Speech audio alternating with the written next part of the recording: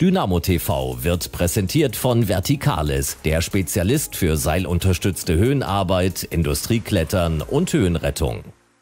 Ein herzliches Glück auf aus dem Mediencenter zur Pressekonferenz. Begrüße Sie, begrüße euch im Anschluss an die Partie der dritten Liga zwischen dem FC Erzgebirge Aue und den Gästen von der SG Dynamo Dresden. Beide Trainer haben Platz genommen. Wir freuen uns auf Ihr Statement. Der Gast hat wie immer das erste Wort. Markus Anfang. Ihre Analyse bitte. Ja, hallo zusammen. Äh, erstmal gratuliere Aue zu zu dem Sieg. Ähm, ja, ich finde, dass wir nicht so gut in die Partie gekommen sind. Wir haben eine gewisse Aggressivität und Zweikampfhärte äh, vermissen lassen in vielen Situationen, wo ich glaube, dass wir es hätten wesentlich besser machen können. So also ein bisschen die, die Krone des Ganzen aufgesetzt hat dann das erste Tor, äh, wo er mit zwei Mann im Prinzip an der Seitenauslinie einfach nur begleiten, ohne wirklich einen Zweikampf zu führen. Und dann wissen wir halt, dass Aue viele Bälle in Rückraum spielen. Wir sind in, im eigenen 16er, sind wir in Überzahl, aber wir verteidigen den einzigen Spieler, der das Tor machen kann, verteidigen wir nicht. Das war so ein bisschen exemplarisch dafür, wie wir so teilweise die Zweikämpfe angegangen sind. Dann haben wir so ein bisschen mehr Mut gefasst, warum auch immer wir es vorher nicht hatten, weiß ich nicht. Haben dann nach vorne gespielt. Und ja, und dann muss man sagen, ist das Mango halt, äh, Kutsche kann den Kopfball reinmachen, Paul Will kann ihn, glaube ich, reinmachen. Ähm, ich glaube, wenn wir in den Situationen und, und Zimmel kann ihn einmal querlegen auf Kutsche, wo wir dann auch leer vom Tor sind. Ja, wenn du aus den Situationen dann kein Tor machst, das waren, glaube ich, so die klarsten Torchancen, die in diesem ganzen Spiel waren. Und du machst kein Tor, dann, ähm, ja, dann wird es halt auch schwer. Und dann, zweite Halbzeit haben wir dann gesagt, okay, wir, wir wechseln nochmal offensiver und haben dann alles nach vorne geworfen, mehr oder weniger, haben äh, viel Druck versucht nach vorne zu erzeugen, was dann zwangsläufig passiert sind, Konteraktionen. Ähm, ja, und haben dann Schüsse aus der Distanz zugelassen, ohne wirkliche klare Torchancen, wo Brollo jetzt mal halten musste, ähm, bekommen zu haben. Aber dann kriegen wir durch eine Standardsituation von uns, kriegen wir eine Konteraktion, gehen zu früh raus. Und ja, da muss man sagen, Aue war brutal effektiv, hat alles das, was sie bekommen haben, mehr oder weniger ähm, genutzt, ähm, haben sich in jeden Ball reingeschmissen, haben am Ende leidenschaftlich das Spiel über die Zeit gebracht und wir waren einfach nicht in der Lage, dann die eine oder andere Chance noch zu nutzen, wie von Park, der dann an Pfosten schießt. Ich glaube, insgesamt von, vom Spiel her wäre es äh, mit dem Unentschieden, glaube ich, in Ordnung gewesen, aber wenn du nicht so effektiv bist, wie, wie das Aue war, dann darfst du dich auch nicht beschweren. Deswegen ähm, müssen wir das so hinnehmen und müssen jetzt regenerieren und haben jetzt ein Heimspiel vor der Brust und werden da versuchen, unsere Punkte zu holen. Euch alles Gute. Ich glaube, ihr habt eine tolle Truppe ähm, und vor allen Dingen äh, viel Qualität in euren Reihen. Und ich glaube, dass ihr auch noch ein Wörtchen mitsprecht, ähm, was die Aufstiegsränge betrifft. Pavel, alles Gute. Ja, vielen Dank, Markus Anfang. Schön unter Druck gesetzt. Pavel Dotschew, deine ja. Analyse bitte. Herzliches Glück auf. Also, Meine Meinung.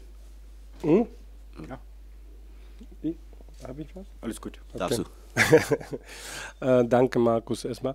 Ähm, ja, das war schon, äh, wie Markus das auch gerade angesprochen haben, das äh, überdeckt sich auch mit, mit meiner so Einschätzung. Ähm, für mich war vom Spiel ähm, schon ähm, ja, gewisse ja, Anspannung oder ungewiss, sage ich mal so, wie das funktioniert wird. Das, das was ich eigentlich äh, oder was wir uns äh, vorgenommen haben, ob die, die, das funktioniert kann äh, ob das funktionieren kann, sofern diese mit dem Anlaufen, mit dem zwei Stürmer vorne anlaufen, mit, äh, also sage ich mal so 4-1-3-2. Und ähm, die Problematik ist ja, wenn wir mit einem Mittelfeldspieler im, im, vor der Kette agieren, dann, dann haben wir zwei breitstehende ähm, Außen- oder Mittelfeldspieler, die ein, ein Mann abdecken muss. Das war eigentlich für mich so ein großes Fragezeichen, ob wir das gut umsetzen. Aber ich finde, dass das äh, sehr gut funktioniert hat.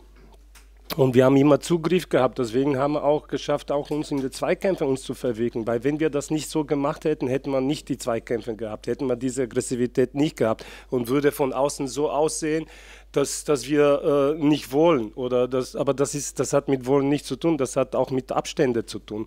Und es hat gut funktioniert. Wir waren eng an Mann, war wie gesagt auch ein gewisses Risiko da, aber es hat... Äh, ja, der Plan ist ja sozusagen aufgegangen. Natürlich äh, gegen äh, so eine Spitzenmannschaft zu spielen, lässt du natürlich eine und andere Chance zu. Geht, äh, nie, anderes geht nicht.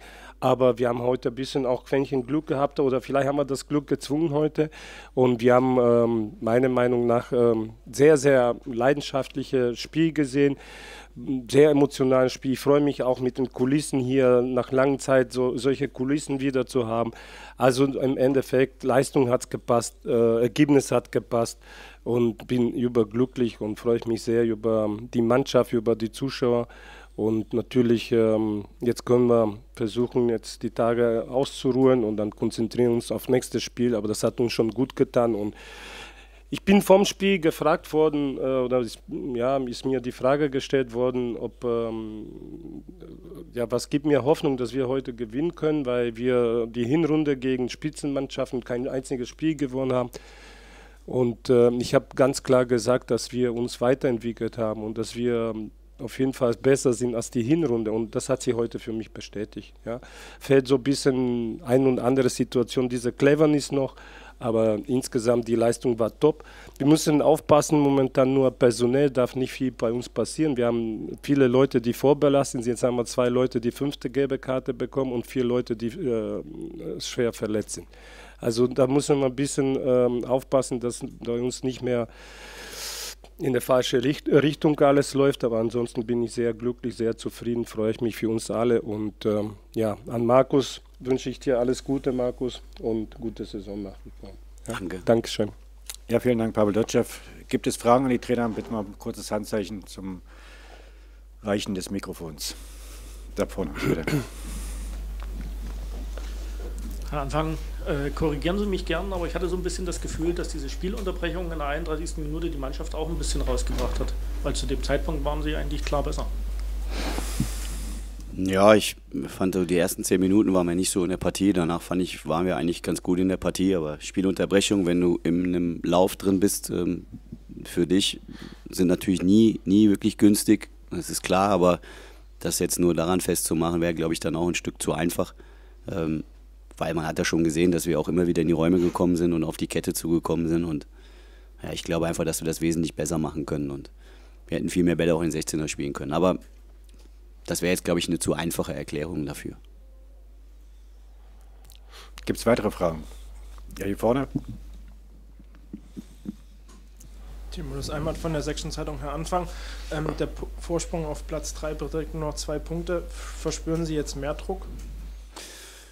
Also ich habe es draußen schon mal gesagt, äh, wir sind ja der einzige Verein, der ganz klar gesagt hat, dass wir aufsteigen wollen. Das heißt ja nicht, dass wir der Favorit sind. Dazu haben wir uns nie gemacht. Ähm, ich glaube, dass viele Vereine äh, mit Sicherheit dieselben Ambitionen haben in der Liga. Ähm, das heißt, wir sind vom ersten Spieltag an mit diesem Druck in der Liga unterwegs. Also von daher ändert sich für uns gar nichts. Also wir wissen, dass das ähm, eine, eine schwierige Aufgabe wird. Wir wissen, dass das auch immer wieder, der muss immer wieder gegen Widerstände ankämpfen. Das gehört einfach zum, beim Fußball dazu. Aber das beunruhigt uns jetzt grundsätzlich gar nicht. aber wir können am Ende nur das beeinflussen auf dem Feld. Und ich glaube, wenn wir heute unsere Chancen genutzt hätten, dann hätten wir mindestens unentschieden gespielt. Ich glaube, das wäre auch in Ordnung gewesen. Aber das haben wir nicht geschafft. Äh, und wir werden jetzt versuchen, gegen Essen zu Hause einfach die drei Punkte zu holen noch eine Frage zu Lars Bünning. Er hat heute seine fünfte gelbe Karte gesehen. Sie haben das schon am Donnerstag oder am Freitag gesagt auf der Vortags-, Spieltagspressekonferenz. Es wird langsam knapp in der Innenverteidigung. Haben Sie schon eine Idee, wie Sie ihn ersetzen wollen?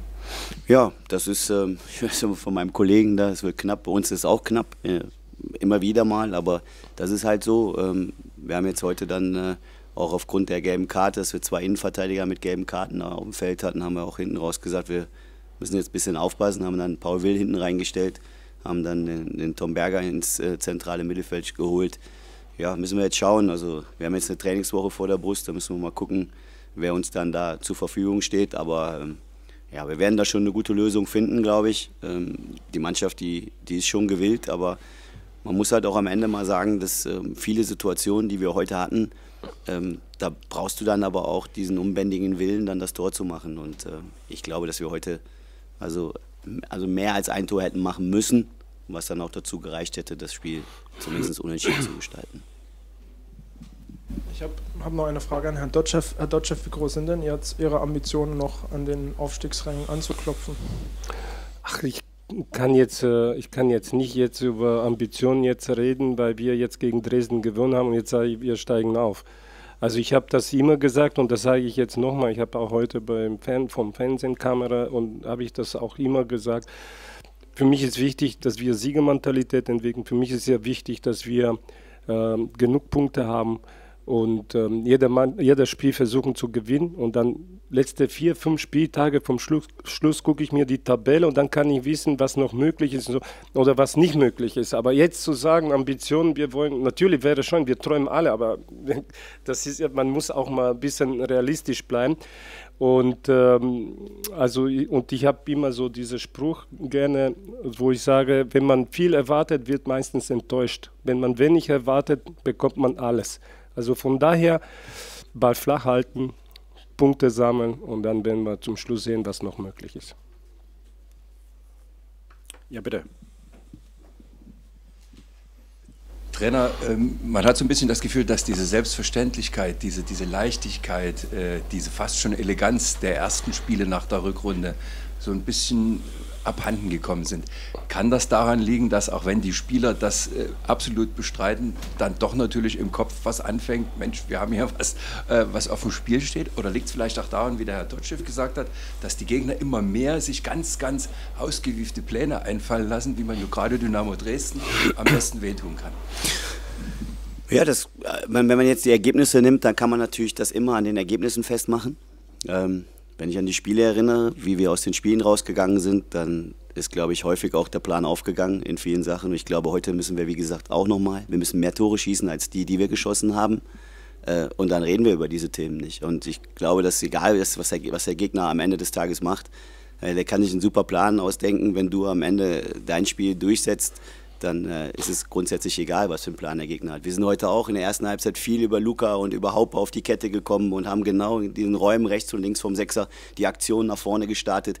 Wenn daraus dann zwei, drei Tore fallen und wir in der Halbzeitpause drei Tore haben, dann sagen alle, ja, super aufgegangen, der Plan. Also, äh, wenn wir es immer nur am Ergebnis festmachen, wird es schwer.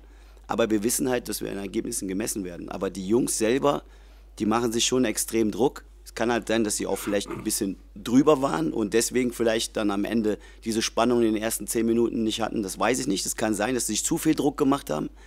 Ähm, aber eins ist auch klar, also so kannst du dich dann äh, gerade die ersten Minuten nicht präsentieren. Und so ein Gegentor, was du bekommen hast zum 0-1, das darfst du einfach nicht bekommen. Das muss man auch mal einfach ehrlicherweise sagen. Also da müssen wir es wesentlich besser verteidigen. Aber ich glaube jetzt nicht, dass, äh, dass die Truppe jetzt kein Selbstverständnis mehr hat. Doch, hat sie. Und ähm, sie hat ja auch, sie glaubt doch an sich. Beim 0-2 haben wir auch weiter nach vorne gespielt. Und wenn der Parky das Ding reinschießt, dann steht es 2-2. Dann reden wir über eine ganz andere Thematik. Aber wir haben halt nur verloren. Und da muss man sich natürlich auch diese Fragen gefallen, das ist ja klar. Gibt es weitere Fragen? Sehe ich nicht. Dann bedanke ich mich, wünsche den Gästen aus Dresden eine gute Heimreise, Ihnen noch ein schönes Restwochenende. Bis zum nächsten Mal. Wiedersehen.